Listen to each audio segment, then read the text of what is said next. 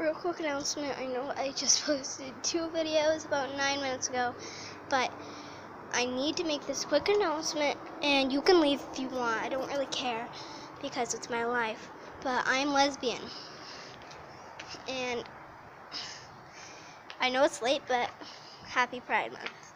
Because don't be ashamed of who you are, be you.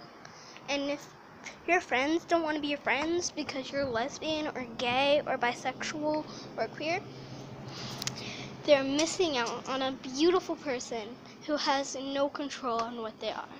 My friends, they know. They are fine with me being lesbian. They are true friends. We've had fallouts a million times, but we made up and we are BFFs. I shouldn't be on here because, well, that makes a lot of background noise. yeah, but you are a beautiful person inside and out.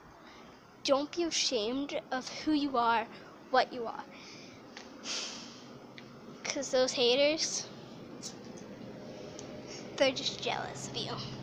That you have a beautiful life, that you are beautiful. They just want to be like you.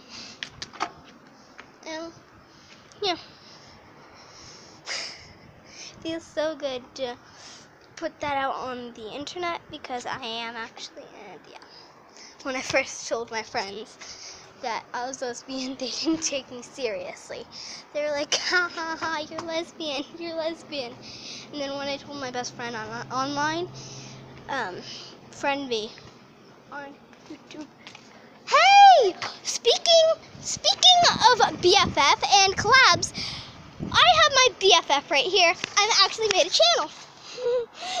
That's her. Um, yeah. And as I was saying, late but oh well, happy Pride Month. Bye, my beautifuls.